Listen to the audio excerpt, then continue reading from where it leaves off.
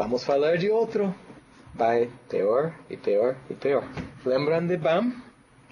Lá está o esquema que vocês já ouviram. Isso é como o grupo trabalha, ok? Tem um, um como chamam esses?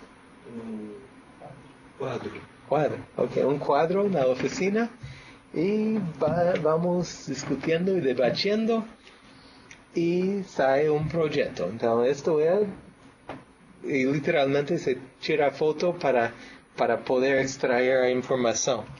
Bem, fizemos nichos, outra vez, nós fizemos, sabemos a verdade, sim? Então, lá está todo o espaço ambiental de Norte-América. Identificamos esta área como um nicho. ¿Sí? E perguntamos onde na geografia está esse nicho. E sai assim. Se você conhece Norte-América, esses são os desertos. Deserto de Chihuahua, deserto de Sonora e os desertos de Baixa, Baixa Califórnia. Ok? Agora, dependendo do M, pode ser que a espécie habita diferentes partes deste. Então, por exemplo, tem muitos endemismos aqui no deserto de Chihuahua.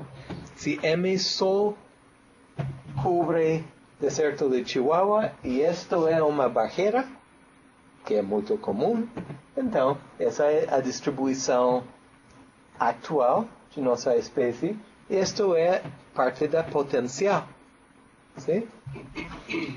Então, de novo, BAM. Vamos contemplar o efeito de B do biótico. Não vou falar disso neste momento, mas com base em, em muito pensar, vamos esquecer de B.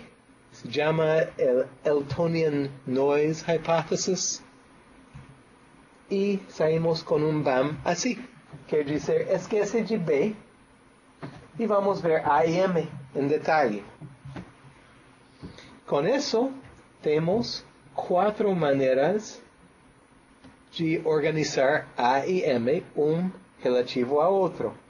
Sobre la par, sobre la par, o mundo de Hutchinson, em que tudo é acessível e parte é, é adequado. O mundo de Wallace, em que o acesso determina em um mundo que é todo adequado e este que é um pouco estranho, que todo é uh, adequado também. Sim?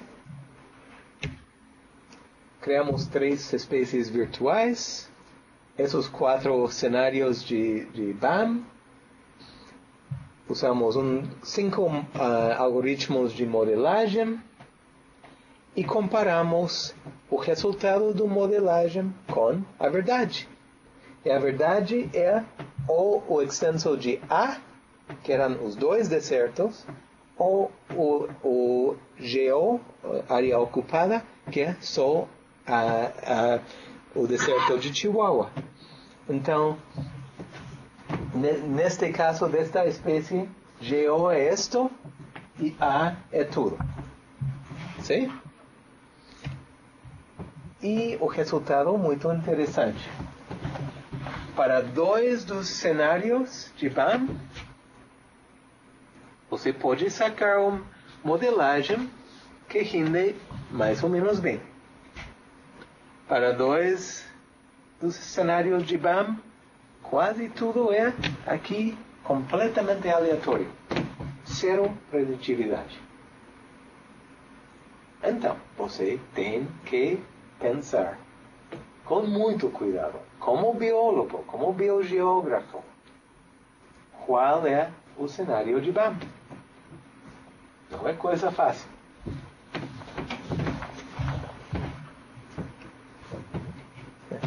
Já falei tudo isso.